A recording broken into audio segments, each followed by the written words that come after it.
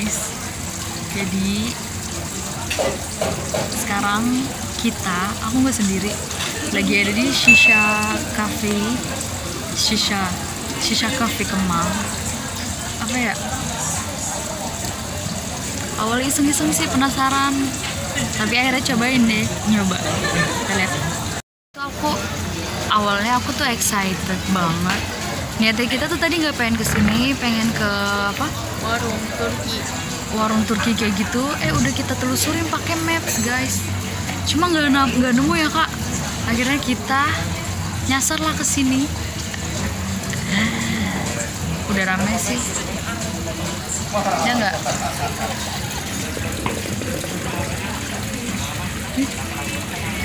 Astagfirullahaladzim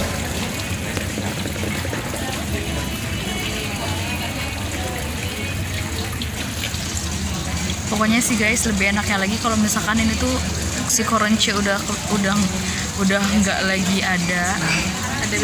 Nah kalau kalian ke sini biasanya tuh aku pernah lihat si tau nggak Daud Debu dia tuh sering banget main di Shisha Kemang ini. Dia tuh main apa darbuka. Biasanya ada pertunjukan darbuka kalau misalkan hari Sabtu. Ya? Sabtu Minggu. Itu sih tempatnya kalau nggak salah nggak tahu ya di mana ya. Pasti weekend tuh rame banget cuma karena sekarang lagi pandemi jadi belum diadain tari perut katanya. Tadi kata waitersnya jadi awalnya kita ke sini iseng-iseng doang. Karena penasaran. Terus ada waktu juga ya udahlah cus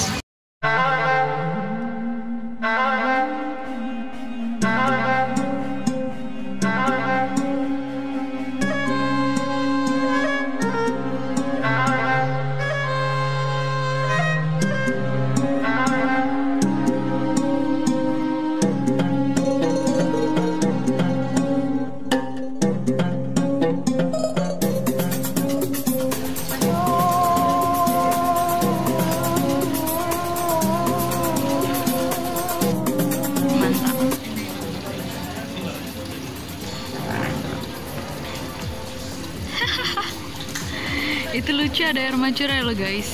Jadi sepi-sepi gitu tempatnya cozy-cozy. Terus- ya mana? Karena aku tahu di sini tuh tempatnya enak. Aku kira di sini tuh ada belly dance-nya kan karena emang lagi weekend. Tapi ternyata kalau lagi pandemi kayak gini eh belum boleh.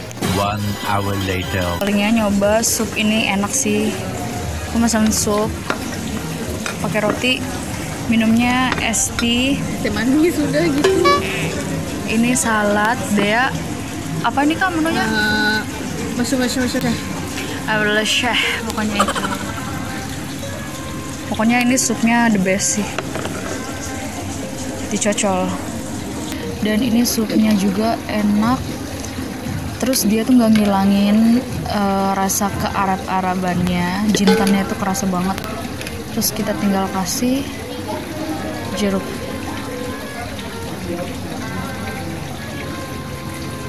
Uh maknyus kalian tahu ini si tempat saladnya itu pakai kayak keripik bawang gitu.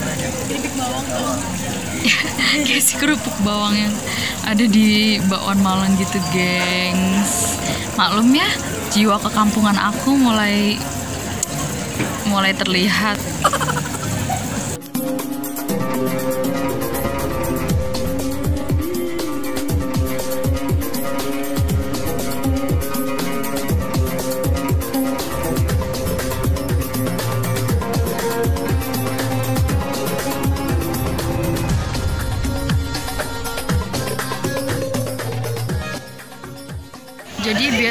kalau misalkan Sabtu Minggu itu di sini ada tarif belly dance-nya ya. Cuma karena kita ke sini lagi dalam masa pandemik, masih pandemik, jadi belum ada belly dance gitu guys.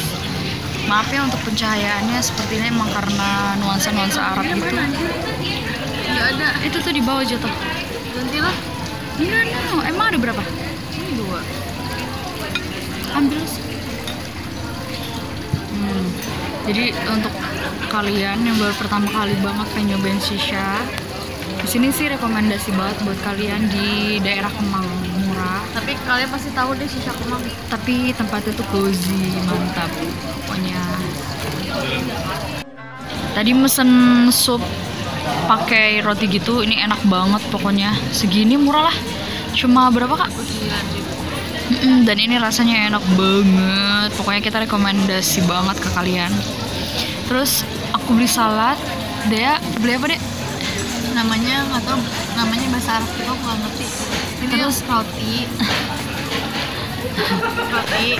Dicocol pakai ini kayak kacang di blend gitu. Tapi itu rasanya kalau dimakan tuh kayak rasa batagor. Tapi so far so good. Jadi menurut kamu di sini gimana? Apa terlalu mahal? Tapi untuk enggak sih. Segini enggak.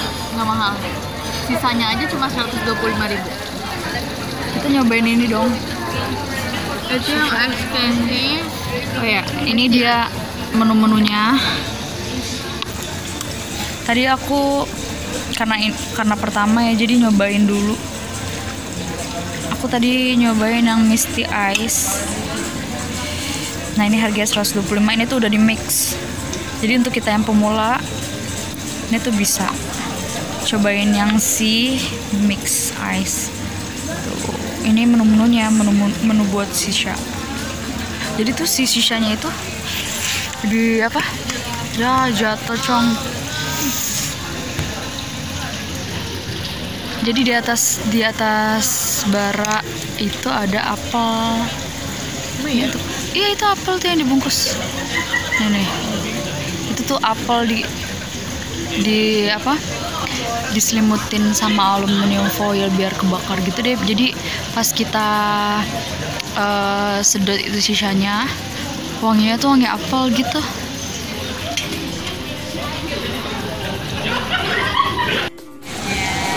Aku mau nyobain sisanya si kakak. Yang katanya sausnya ini mirip saus batagor cobain ya. Sebenarnya sih ini ada lemonnya rotinya tuh enak banget lembut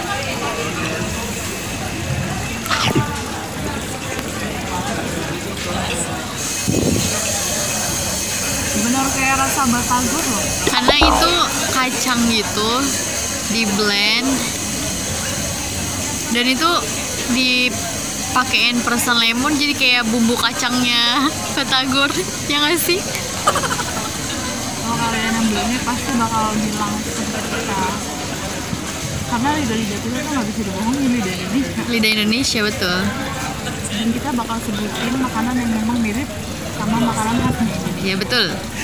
Coba kita pakai kulanya itu dia pakai misalnya salad dong.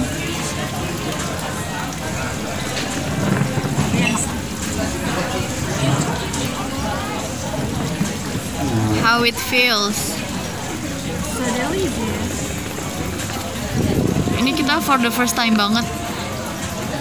Banget aku tuh tadi kayak takut-takutnya teh lu yakin gitu? Kita harus coba karena kalau nggak coba tuh kita bisa penasaran.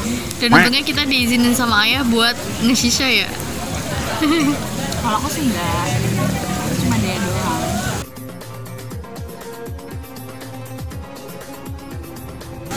Karena waktu itu Ya. Tapi untuk es apa for your information. Karena satu keren banget. Kayak nongki-nongki di tempat-tempat kayak gini tuh biar kayak bisa cuci mata gitu deh. Lihat-lihat orang-orang yang agak erot-erot dan benar banyak. Lumayan banyak sih. Ini ada yang datang loh.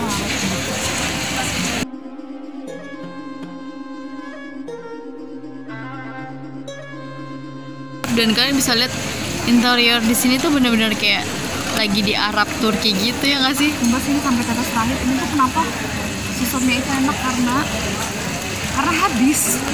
Karena si sopnya ini tuh lebih banyak ke bawang putihnya itu tuh si bawang putihnya itu bikin gurih.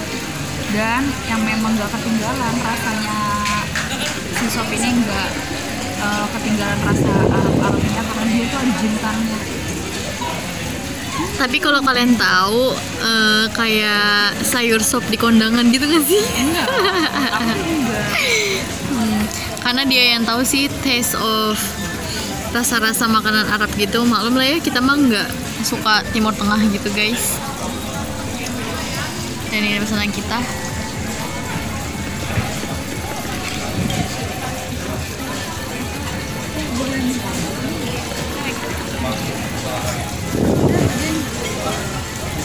Udah guys, gitu aja.